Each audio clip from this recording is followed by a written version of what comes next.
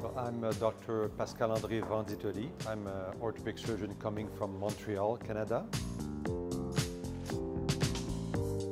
I'm very happy to be at the PCO uh, meeting for the first time.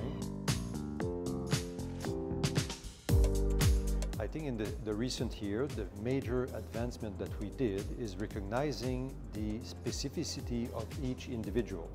I'm a big proponent of personalized hip and knee arthroplasty. It means that we want to reproduce each patient anatomy and function. I believe that restoring each patient anatomy and function, we can obtain much better result for them. They can resume normal activity level, have a, a better function, better satisfaction after their hip or knee replacement. It's a, it's a really, really important topic for the patient. Controlling pain after surgery, controlling all the side effects of the surgery is a major benefit for them. All the enhanced recovery after surgery principles are the key of success in that field.